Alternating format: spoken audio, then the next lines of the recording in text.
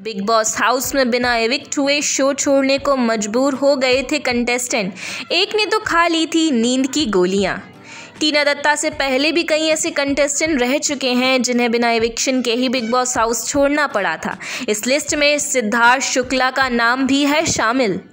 आपको बता दें कि इन दिनों काफ़ी सुर्खियों में है बिग बॉस 16 अब रोज़े के विक्शन से लोगों के बीच ज़बरदस्त हंगामा देखने को भी मिल रहा है। इससे पहले टीना दत्ता के अचानक घर से बेघर होने पर भी सभी लोग हैरान रह गए थे। लेकिन बाद में उत्तरायण की एक्ट्रेस बिग बॉस हाउस में उन्होंने वापस वापसी ले ली है, जिससे फैंस खुश हो गए थे। बताते चलें कि टीना दत्ता को बिना एविक्शन के ही घर से बाहर कर दिया गया था। लेकिन ऐसा पहली बार नहीं हुआ, जब कोई कंटेस्टेंट बिना एविक्शन के ही घर से बाहर हुआ हो। टीना से पहले भी कई कंटेस्टेंट ऐसे थे जिन्हें या तो अपनी हेल्थ कंडीशन को लेकर या फिर किसी दूसरी वजह से बिग बॉस हाउस छोड़ना पड़ा था।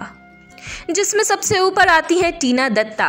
Bigg Boss season 16 में एक टास्क के दौरान जब शालीन भनौट को 25 लाख या फिर टीना में से और सुम्बुल में से किसी एक को चुनने का मौका मिला तो उन्होंने अपनी दोनों दोस्तों को छोड़कर 25 लाख रुपयों को चुना। शालीन के इस फैसले से घर वालों को बड़ा झटका लगा था। शालीन के वजर बजा, वजर ना दबाने पर टीना दत्ता को बिग बॉस हाउस छोड़कर घर से बेघर होना पड़ा था।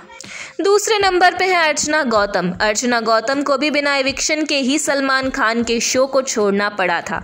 दरअसल अर्चना और शिव ठाकरे का झगड़ा हो गया था, जिसमें गुस्से में अर्चना ने शिव का गला पकड़ लिया था। इस घटना के बाद शिव की वजह से अर्चना बिग बॉस हाउस छोड़ने पर मजबूर हो गई थी, लेकिन बाद में एक्ट्रेस को बिग बॉस सिक्सटीन में री एंट्री करवाई गई। तीसरे नंबर पे है एजाज खान। बिग बॉस 14 के कंटेस्टेंट एजाज खान को भी यह शो बीच में ही छोड़ना पड़ा था। शो में एजाज खान और पवित्रा पुनिया की जोड़ी खूब जमी थी, लेकिन अपने पुराने वर्क कमेंट्स के कारण एजाज को बीच में ही ये शो छोड़ना पड़ा था। तीसरे नंबर पर, चौथे नंबर पर नाम आता है Siddharth Shukla. Actor Siddharth Shukla Bigg Boss thirteen के विनर बने थे, लेकिन सिद्धार्थ को बीच में ही सलमान खान के शो को छोड़ना पड़ा था। दरअसल सिद्धार्थ शुक्ला को बुखार हो गया था, जिसके कारण एक्टर को कुछ दिनों के लिए अस्पताल में भर्ती रहना पड़ गया था। इसके बाद नाम आता है देवलीना भट्टाचार्य का, जिनने बिग बॉस थर्टीन का हिस्सा बनी थी। इस दौरान उन्हें बैक इंजरी हो गई थी, जिसके कारण देवलीना को बीच में ही बिग बॉस छोड़ना पड़ गया था।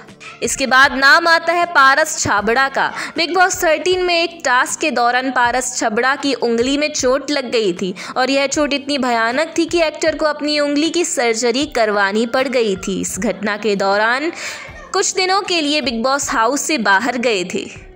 इसके बाद नाम आता है विकास गुप्ता का, जिन्होंने बिग बॉस 11 में हिस्सा लिया था। मास्टरमाइंड के नाम से मशहूर विकास सीज़न 14 में नज़र आए थे। हालाँकि इस दौरान उनकी तबीयत खराब हो गई थी, जिसके कारण विकास को कुछ समय के लिए बिग बॉस हाउस से बाहर जाना पड़ा था। इसके बाद अफसाना खान, जो कि एक सिंगर हैं, बिग बॉस 15 का हिस्सा बनी थी। शो में पैनिक अटैक आने के कारण उन्हें बाहर जाना पड़ा था। लेकिन बाद में अफसाना की बिग बॉस हाउस में दोबारा एंट्री हुई थी। आखिर में नाम आता है ज़ुबैर खान का, जिन जो कि 11 बिग बॉस के सीज़न में कंटेस्टेंट के रूप में आए थे। इन्होंने नींद की गोलियाँ खा ली थी, जिसके बाद उन्हें जल्दबाजी में अस्पताल में भर्ती करवाना पड़ गया था। बाद में जुबेर को बिग बॉस हाउस से इविक्ट कर दिया गया था।